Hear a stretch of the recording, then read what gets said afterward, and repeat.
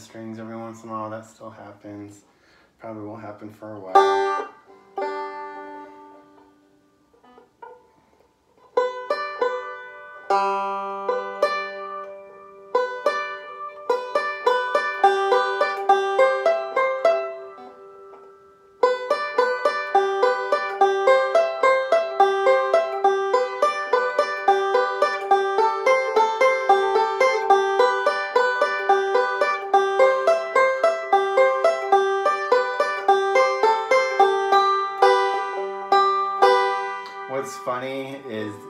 This uh, um, camera phenomenon. It happens the same thing with my instructor.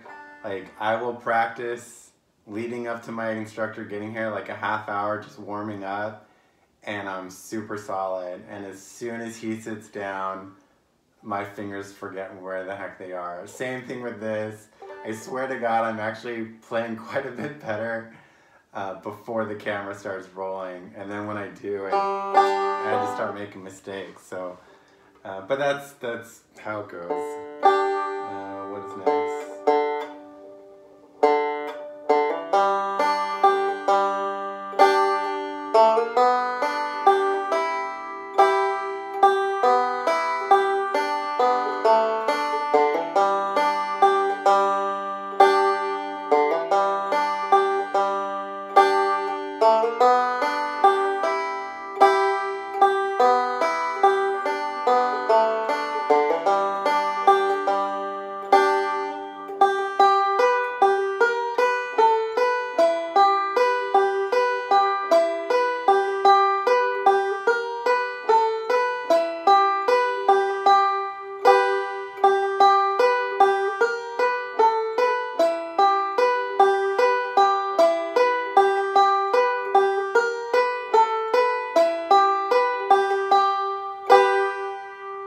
Okay, with this particular song, it's been giving me a lot of trouble for quite some time, uh, and a, and a lot of the times leading up to just like a two weeks ago, what I would do is I would practice.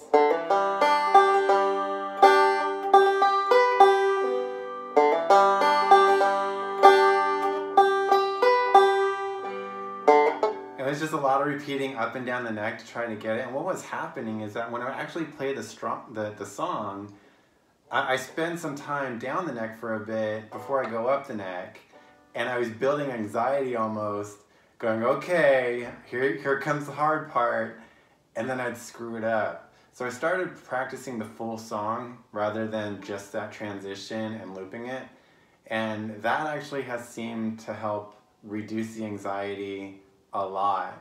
So I'm not getting it perfect, but I'm actually getting it better more often than than not, uh, having practiced the other way. All right, so now to the new stuff. I will tell you right now with um, will the circle be unbroken? My biggest challenge is, is going to be the three two pull off. Uh, that that already I, I cannot seem to pull off my ring finger without hitting the second um, the second string. It just I could do it when the string is open, but as soon as I fret the second string with my my middle finger, I am catching that that second string all the time. So I don't know exactly what the trick is here, but um, bear with me. That's that's just gonna be something I have to work on.